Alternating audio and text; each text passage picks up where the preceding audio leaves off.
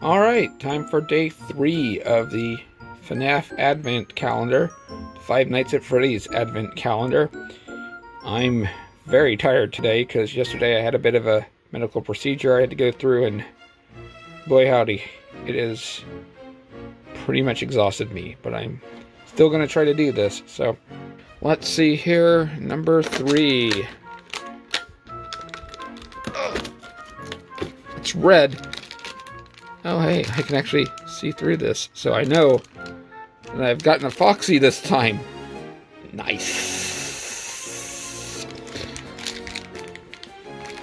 Alright, this time we got a yellow, we got this neon yellow, green, pink, blue, just very neon Foxy.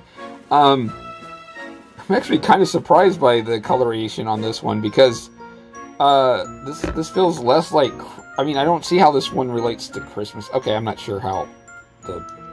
Okay, I'm not sure how the Freddy one did either, but this one feels almost like Easter-ish more than you know, Christmas-ish. Um, yeah, I, I it's Foxy, so I'm gonna I'm gonna feel obligated to keep this one. Um, but wow, this is it, it's almost like Foxy in Chica colors.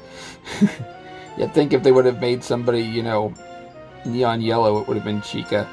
Um, Foxy looking Foxy.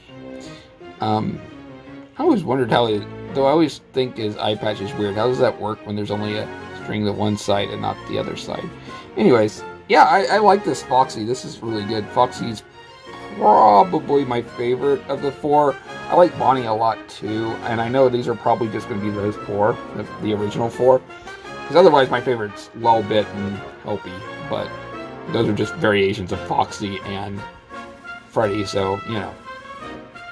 Regardless, yeah, this one's actually really cool. I like this one. This this is the Freddy one I like a lot so far. I'm not sure which is my favorite of the two because I really like how that Freddy looks. Um, I, I'm, I'm liking Lemony Foxy too, like like lemon skittle Foxy over here.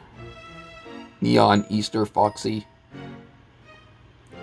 Yeah, I like this one. This one's good. Definitely keeping this one. Alright, talk to you guys next time.